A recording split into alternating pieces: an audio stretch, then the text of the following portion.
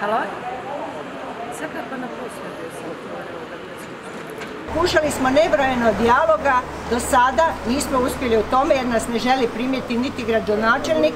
niti predsjednik Gradske skupštine grada Zagreba. E, pojavio se ogromna bojazan, a eskalirana i najnovijim odlukama gradonačelnika, odnosno Gradske skupštine grada Zagreba. E,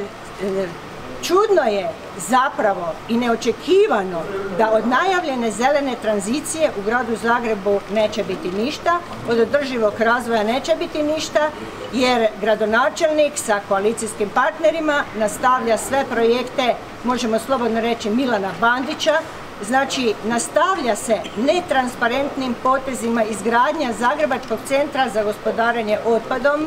koji je zapravo centar za tuđe pomješano smeće, koje je e, centar sa najgorim sadržajima i otrovima sa spalionicom koja se sada zove Energana, a to vidimo i koketiranje u najnovije vrijeme E, koje ukazuje na Kopenhil koji je savršeno rješenje sa odlagalištem, sa azbestnim plohama, sa građevinskim otpadom, sa svim najgorim sadržajima koje možemo imati. Moramo znati da je na tom području oko 30, neposredno uskom području, 30 OPG-ova koji proizvode hranu i za grada Zagreba, a osim toga tu je i zelena tržnica